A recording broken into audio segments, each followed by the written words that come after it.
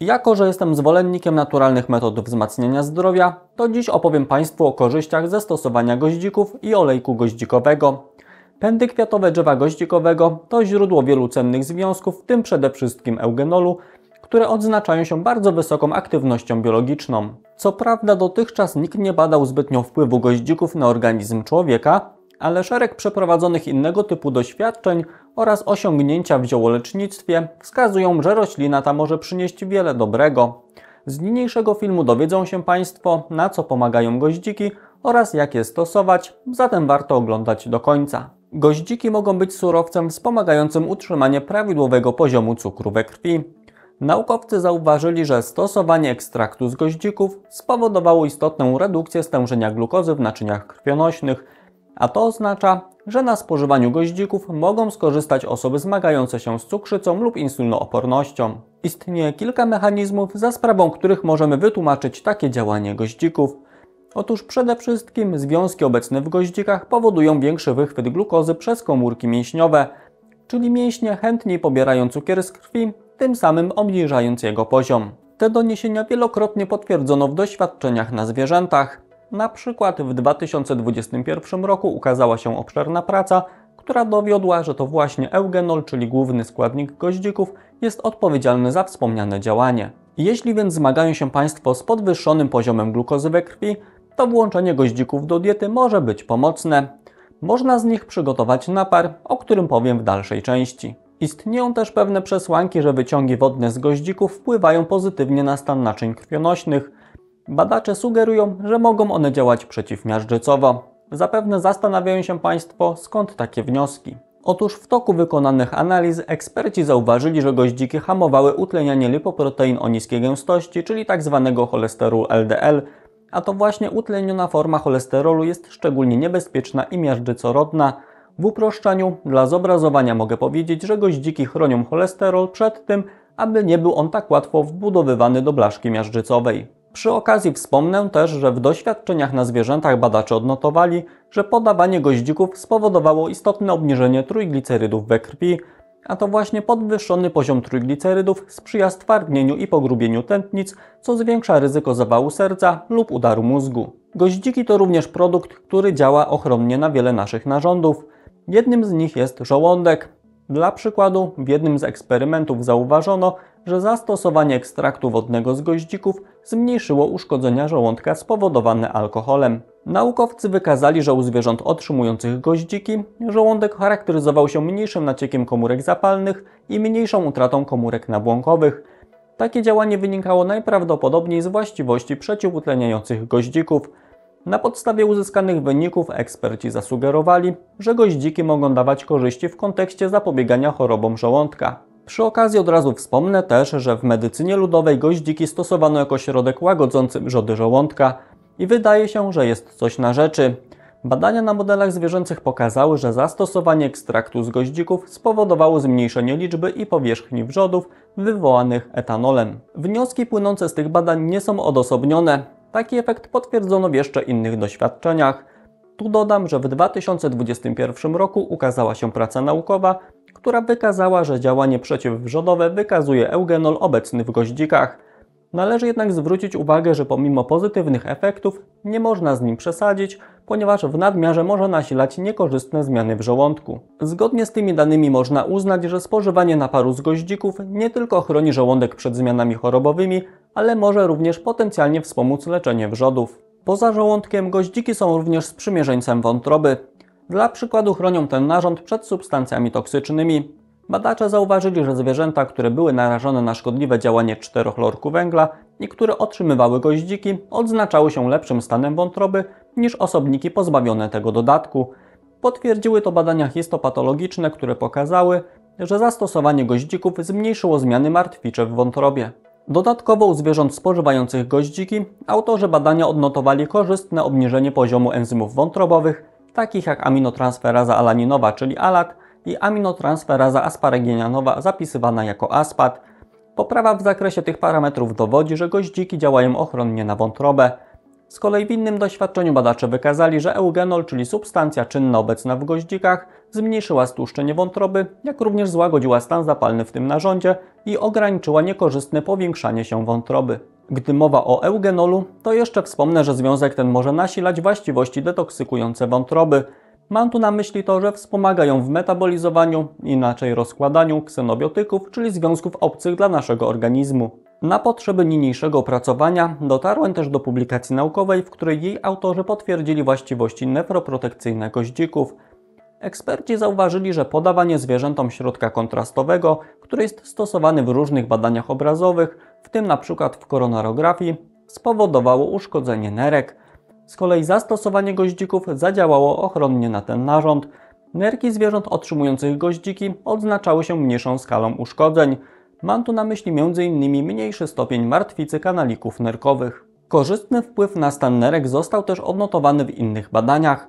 Otóż badacze zauważyli, że spożywanie ekstraktu z goździków zmniejszyło uszkodzenia nerek spowodowane cukrzycą, bo nie wiem czy Państwo wiedzą, ale postępująca cukrzyca przyczynia się do zaburzenia funkcjonowania nerek.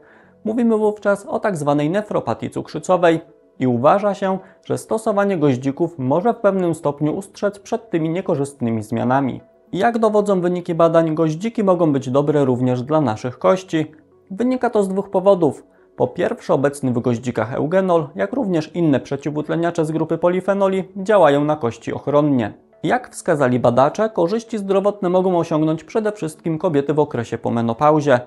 Na tym etapie życia dochodzi do znacznego spadku produkcji estrogenów, a hormony te mają istotny wpływ na zdrowie kości.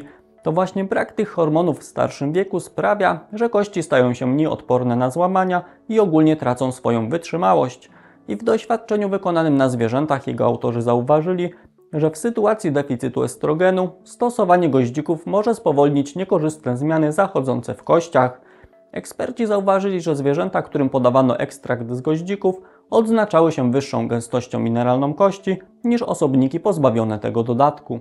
Po drugie, warto też wspomnieć, że goździki są bardzo dobrym źródłem manganu, czyli pierwiastka, który bierze udział w budowie i utrzymaniu zdrowych kości.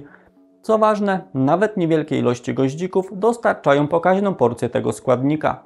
Zgodnie z tym, co można przeczytać w literaturze naukowej, goździki wydają się być też pomocne we wspomaganiu leczenia chorób przyzębia. Badacze sugerują, że składniki aktywne znajdujące się w goździkach mogą zapobiegać powstawaniu płytce nazębnej i zmniejszać ryzyko zapalenia dziąseł. Wynika to m.in. z tego, że mają one działanie bakteriobójcze, bakteriostatyczne i przeciwgrzybicze. Mowa tu przede wszystkim o hamowaniu rozwoju bakterii takich jak Porphyromonas gingivalis i Prevotella intermedia, które powodują zapalenie przyzębia. Co więcej, goździki łagodzą stany zapalne, a to również sprzyja zdrowiu jamy ustnej. Z kolei w 2013 roku pojawiła się publikacja, w której autorzy potwierdzili, że goździki działają przeciwbólowo, a to za sprawą obecnego w nich eugenolu, który ma łagodne właściwości znieczulające. W tym miejscu jednak zaznaczę, że goździki rzeczywiście mogą zmniejszyć ból zębów, ale należy mieć świadomość, że to działanie jest tylko tymczasowe i nie u wszystkich osób przynosi zadowalający efekt. W tym miejscu chciałbym uwypuklić to, że goździki mają działanie przeciwdrobnoustrojowe.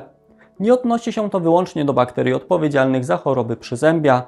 W literaturze naukowej badacze wielokrotnie potwierdzili, że goździki i eugenol wykazują również właściwości przeciwbakteryjne wobec takich bakterii jak gronkowiec złocisty, Escherichia coli, Bacillus cereus czy też Listeria monocytogenes. Tu tylko dopowiem, że są to bakterie, które możemy zwykle spotkać w żywności. Poza działaniem antybakteryjnym, goździki zapobiegają również rozwojowi grzybów, Mam tu na myśli m.in. grzyby z rodzaju Candida, które są odpowiedzialne za powodowanie choroby o nazwie Candydoza. Tu zrobię krótki przerywnik i wspomnę, że więcej podobnej wiedzy przekazuję w moim porannym dzienniku zdrowia i chciałbym zaprosić Państwa, aby się na niego zapisać. Dziennik to darmowy biuletyn mailowy, który piszę i wysyłam od poniedziałku do piątku o 6 rano do porannej kawy lub herbaty. Aby się zapisać na dziennik, wejdź na www.doktorbartek.pl ukośnik dziennik. Goździkom przypisuje się również działanie przeciwpasożytnicze. Badacze zauważyli, że eugenol w nich zawarty spowodował częściowe wyeliminowanie przywr z rodzaju schistosoma, powodujących chorobę pasożytniczą o nazwie schistosomoza. Przy okazji naukowcy zaobserwowali poprawę w funkcjonowaniu wątroby zaatakowanej wspomnianymi pasożytami, co dodatkowo potwierdza, że goździki chronią ten narząd na wielu różnych płaszczyznach. Tu jako ciekawostkę powiem, że goździki w połączeniu z nasionami lnu stosuje się jako domowy sposób na pasożyty. Zgodnie z tym, co podają użytkownicy, jedną łyżkę goździków łączy się z 10 łyżkami nasion lnu, następnie całość mieli się w moździerzu. Z takiej mieszanki bierze się dwie łyżki, zalewa jedną szklanką przygotowanej wody i wypija na czczo. Tu jednak muszę zaznaczyć, że skuteczność tego sposobu nie została potwierdzona w badaniach naukowych, stąd trudno jest mi odnieść się do tego, czy rzeczywiście ta metoda pomaga. Jeśli ktoś z Państwa ją stosował, to będę wdzięczny za podzielenie się doświadczeniem w komentarzu pod filmem. Goździki mogą znaleźć również zastosowanie w przypadku zapalenia stawów. Eksperci zauważyli, że eugenol otrzymany z olejku goździkowego spowodował zmniejszenie stanu zapalnego u zwierząt zmagających się ze wspomnianym problemem. Mowa tu o obniżeniu poziomu cząsteczek prozapalnych, takich jak czynnik martwicy nowotworu alfa. Dodatkowo badacze odnotowali złagodzenie objawów klinicznych. Mam tu na myśli zredukowanie rumienia okołostawowego, a także zmniejszenie obrzęku kończyn. Omawiając właściwości zdrowotne, warto też wspomnieć, że olejek goździkowy bogaty w eugenol może przyspieszać gojenie się ran. Nie wdając się w szczegóły, badacze zauważyli, że na skutek zastosowania zewnętrznego takiego olejku dochodziło do zwiększonego przemieszczania się fibroblastów do miejsca uszkodzenia skóry. Tu tylko dopowiem, że fibroblasty to komórki produkujące kolagen, który uczestniczy właśnie w procesie gojenia się ran. Poszukując materiałów do dzisiejszego filmu, natrafiłem też na jedno ciekawe badanie wykonane z udziałem ludzi.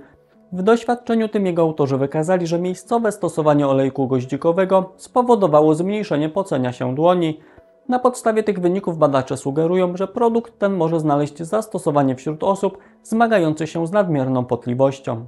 Gdy już wiadomo, jakimi właściwościami zdrowotnymi odznaczają się goździki, to teraz powiem Państwu, w jaki sposób można je stosować. Jednak nie chcę wyważać otwartych drzwi i odkrywać Ameryki na nowo. Dlatego podam Państwu sprawdzone metody, które poleca dr Henryk Różański, ceniony propagator zielarstwa i fitoterapeuta. Pierwszym z proponowanych przez doktora Różańskiego przetworów jest napar z goździków. Aby go przygotować należy rozdrobnić jedną lub dwie łyżeczki goździków, a następnie zalać je jedną szklanką wrzątku i parzyć pod przykryciem. Doktor Różański zaleca pić taki napar 1 do 3 razy dziennie po 100 ml. Drugim rozwiązaniem jest połączenie olejku goździkowego z olejem roślinnym, np. słonecznikowym. Te dwa składniki łączymy ze sobą w proporcji 1 do 1. Według wskazówek miejscowe wcieranie takiej mikstury ma łagodzić zmiany reumatyczne, w tym zmniejszać obrzęki i ból stawów. Trzecim rozwiązaniem jest olejek goździkowy, który rozcieńcza się spirytusem, aby przygotować 2% roztwór. I takim roztworem można przemywać stopy i pachy w przypadku nadmiernego pocenia się. Ze swojej strony podam jeszcze inne sposoby stosowania goździków. Idąc zatem dalej, czwartym sposobem wykorzystania goździków jest po prostu sypka przyprawa. W tym celu mielimy dokładnie goździki i posypujemy sałatki lub dodajemy do kompotu. Na danie lub kompot zużywamy dwie sztuki. Piątym sposobem jest połączenie olejku goździkowego z olejem z czarnuszki. Takie połączenie ma działanie przeciwpasożytnicze, żółciopętne i przeciwgrzybicze. Na jedną łyżkę oleju z czarnuszki dodajemy 3 krople olejku goździkowego. Spożywamy jedną taką łyżkę dziennie. Ważne jest, aby olej z czarnuszki był nieoczyszczony, czyli miał ostry smak i charakterystyczny zapach. Odpowiadają za to tymochinony i to one świadczą o działaniu terapeutycznym oleju z czarnuszki. Szóstym sposobem jest standardowe ssanie lub delikatne gryzienie goździków. Goździki mają właściwości dezodorujące, czyli odwaniające, a to oznacza, że można je stosować do niwelowania przykrego zapachu z ust. Najbezpieczniej jest ssać goździki, a w przypadku gryzienia należy to robić ostrożnie, jeśli stan uzębienia jest nie najlepszy. Siódmy sposób jest alternatywą dla szóstego, czyli zrobienie pukanki do ust. Trzy krople olejku goździkowego wystarczy rozpuścić w jednym kieliszku wody i płukać tym usta. Jako dodatkowy olejek można dodać 3 krople olejku z mięty pieprzowej, ponieważ zawarty w niej mentol również pomaga odświeżyć oddech. Przy okazji podam Państwu ciekawostkę, jak sprawdzić, czy goździki, którymi dysponujemy, są świeże. Do tego celu posłuży nam banalnie prosty test wodny. Wystarczy wsypać kilka sztuk goździków do szklanki z wodą i sprawdzić, jak się w niej zachowują. Goździki dobrej jakości będą unosiły się pionowo, zaś goździki odznaczające się mniejszą świeżością będą unosiły się w poziomie. Mam nadzieję, że dzisiejszy film zachęci Państwa do częstszego sięgania po goździki i to nie tylko dostosowanie ich jako dodatku do kompotów, konfitur, grzanego wina czy też kiszonej kapusty, ale również do spożywania ich na przykład w postaci wspomnianego naparu. Jeśli interesują się Państwo stosowaniem naturalnych rozwiązań celem wzmocnienia zdrowia, to chciałbym teraz zaprosić Państwa do obejrzenia filmu, który właśnie pojawił się na ekranie. Mówię w nim o korzyściach zdrowotnych kurkumy. Również i w tym materiale podaję sposoby na to, jak ją spożywać. Aby obejrzeć ten odcinek, wystarczy teraz na niego kliknąć. A na dziś z mojej strony to wszystko. Dziękuję za Twoją uwagę i do zobaczenia w kolejnym odcinku.